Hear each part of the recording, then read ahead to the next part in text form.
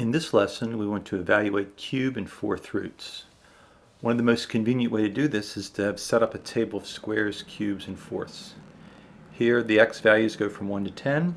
Here, the x squared, 1 times 1 is 1, down to 10 times 10 is 100. x cubes, once again, we start with x equal to 1. 1 times 1 times 1 is equal to 1 cubed, or 1. 2 times 2 times 2 is 8. Down to 10 times 10 times 10, which is 1,000. And finally we have x to the fourth. If we take 1, 1 times 1 4 times, 1, 16, 81, 256, and 625.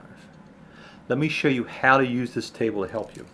Suppose we're looking for the cube root of 125. What we want to do, since the index is 3, we're looking for cube roots, we look in the column x cubed. We look for the number 125 and we find it.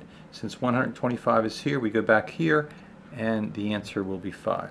The cube root of 125 is equal to 5, since 5 times 5 times 5 is 125.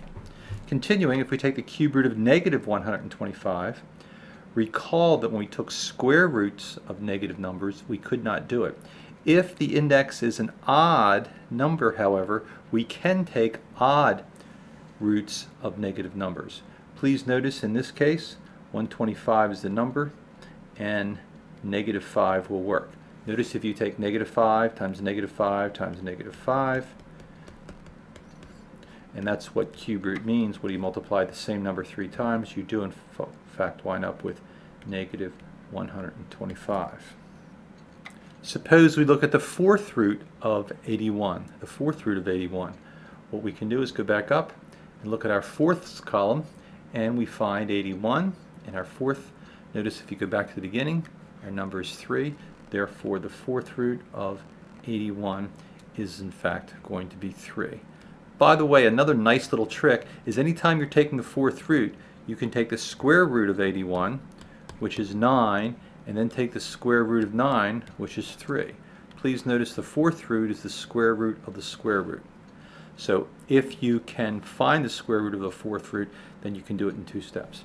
How about the fourth root of negative 81? Since this is in fact an even number, we cannot take the even root of a negative number.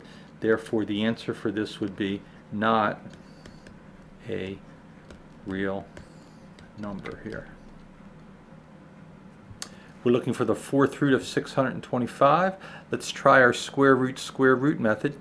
You take the square root of 625, you wind up with 25.